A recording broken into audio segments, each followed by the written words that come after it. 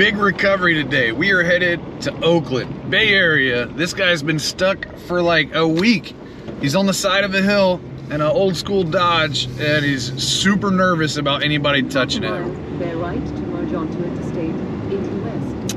One wrong move and this thing could roll down the hill. So I, I think he's probably a little more concerned with it than I am. I've done recoveries like this. They're definitely tricky. They can be challenging, but I've always been successful with, with all the recoveries I've done. So, but I can tell the guy's super nervous about letting people touch it. Originally, he was just gonna wait until we have better weather and to stop raining, and it literally has not stopped raining for weeks. And this is the first dry day we've had. So we're gonna go tackle it. Two hour drive each way, we'll be there soon.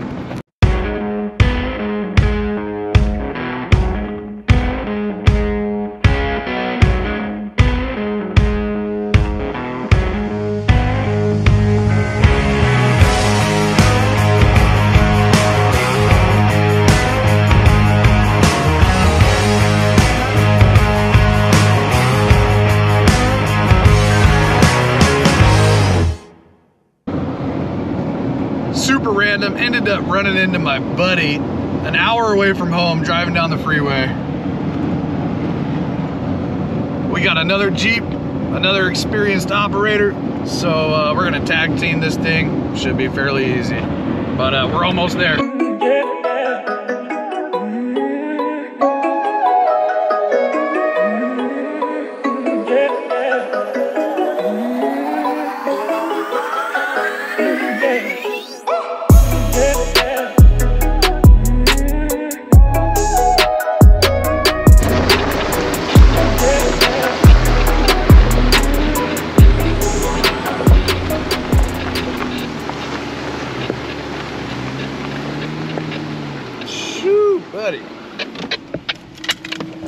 We found it.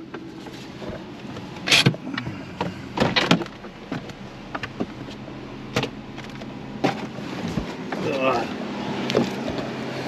Talk about being on a cliff. Pictures never do it justice. That's way down. That's like steep as could be. Uh, but we do got a good, good oak up there. Yeah, luckily there's plenty of good trees to winch off of, but it is pretty high up.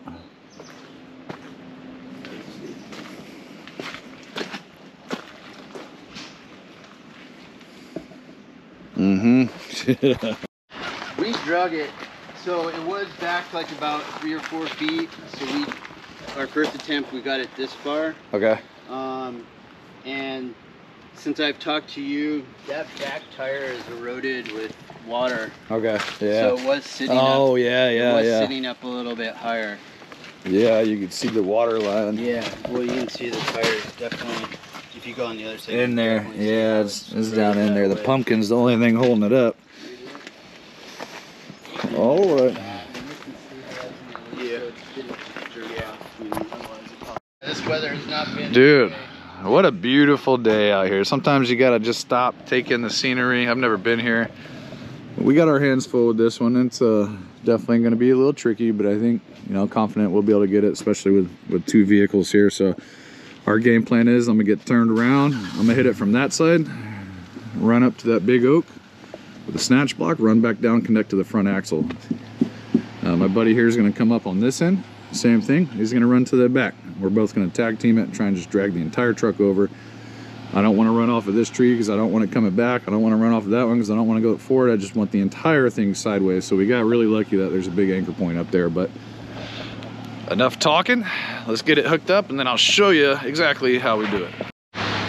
All right, so quick explanation. Um, he, as you can see, is parked up the hill, so that way um, it's not gonna drag him all the way up the hill. We have this big oak up here. He has his own dedicated lines ran to the bottom of that. Snatch block right there, if you can see it. He's hooked up to the back end. I'm hooked up to the front end. I have my own dedicated line as well, snatch block. Same thing, it's gonna drag me up the hill. Uh, we did that so if any one of these breaks, we still have two safety points on it. So it's not gonna just tumble. Um, you can't even walk down this, it is extremely steep. Hooked up to the front around the axle with a 31,000 pound tree saver. It's grabbing the whole tire. He's hooked up to a hitch shackle in the back.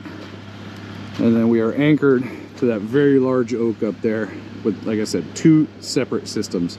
Plus, um, they already have this up top. So we're gonna keep all this stuff here little by little. Oh, we got radios, we're gonna tag team it and hit it, bump it at the same time, nice and slow.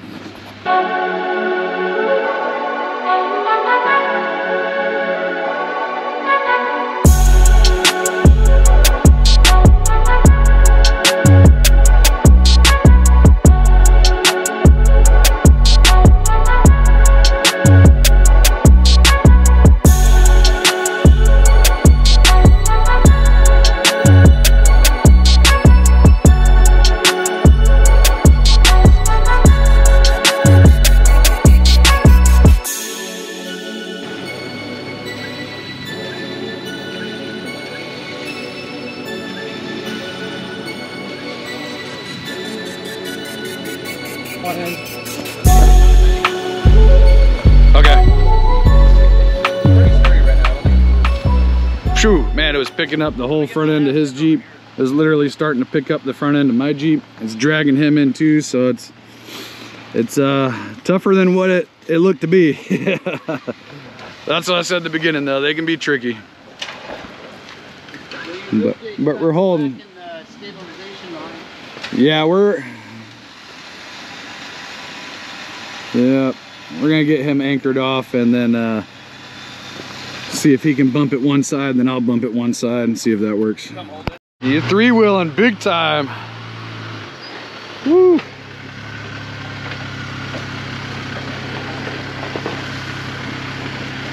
It's crazy what lockers will do. Solid. I think you're good right there. ARB. Uh, electronic Rubicon lockers. like the OEM ones. So through Yeah, we'll get it right around. Either one of these guys Uh, should hold straps. much weight on it.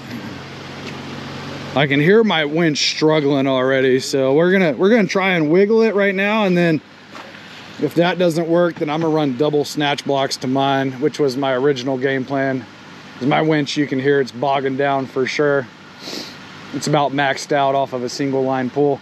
But if I hook up another snatch block right here, that should give it enough umph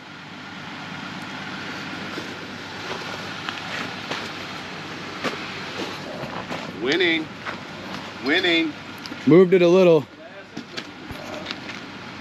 Yeah, originally, dude, you slid the back end over what looked to be pretty easy.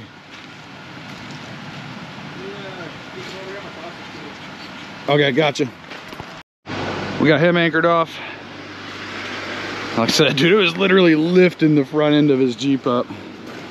It's just at such an incline right now. I mean, way up here. Um, and then he's behind me, he's gonna anchor off to something as well because it, like I said, was dragging both of us in. I don't want to put just one wheel into this. That's how you break a ball joint or break a tie rod or something. You got 10, 15,000 pounds of force on one wheel just getting crammed sideways. That's all bad. So running anchors is best. It's another reason I don't like using wheel chocks either because I've seen tie rods and ball joints break from people uh, just stopped up on wheel chocks like that. Running out an anchor is always the best option. Might be a little more work, but that's okay. All right, we got it anchored off again, and then now he's anchored off in the front. So we got so kind of an elaborate setup going up here. You can't really see it, but uh, way up in there, that tree seems to be holding well. It is a big oak. Try and go to the bottom of it, but it is also a lot of pressure, you know. Last thing you want is that damn thing to come crashing down.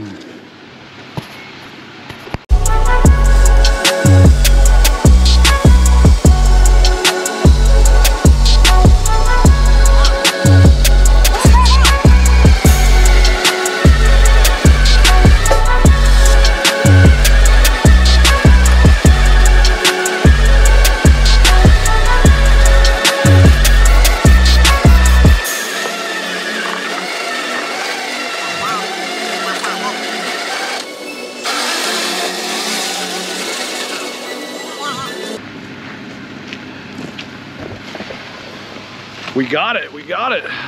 you know, it's a little tricky, but you know, with the right equipment, the right anchoring and all that good stuff, that definitely helps out a lot, but it, it slid it right over. Got it out, buddy. Yeah. all done. I don't want to say we made it look easy. It, it was a little difficult, but it really did exactly what we wanted it to do. That was my initial game plan. Um, you know, originally I was going to tackle this by myself, and my plan then was to run double snatch blocks right off the front of my Jeep, a short snatch block, then my uh, snatch block to redirect it. Um, so I don't know if that would have worked. I think it, it probably would have. It definitely was bogging down my winch on a single line pull, but uh, you know, end of the day, we got it out. Everything went smooth.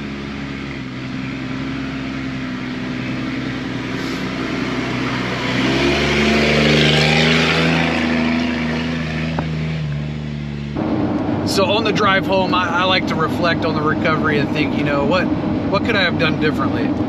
Maybe what would have worked better. That's that's usually what happens is, you know, after the fact, hindsight, right? You think, well, if I could have done it this way. So one thing I do want to add, if I find myself in that situation again, where everything, all the rigging is elevated above the Jeep. So if something breaks, it's coming right back down on top of the Jeep, likely through the windshield. So a smart thing to do there would have been to open the hood. And that's something I've done plenty of times in the past. Not sure why I didn't think of that. Uh, but just to play it safe, you know, if, if I'm in that situation again, definitely to open the hood. That way, if something breaks, it smacks the inside of the hood and doesn't come through the windshield. I was going to put winch blankets on it, but since it was so high in the air, the winch blankets would just slide back down the line. So they wouldn't have worked in that. If you made it this far, thanks for watching. Smash that like button for me. Hit that subscribe button, and I will see you guys next time.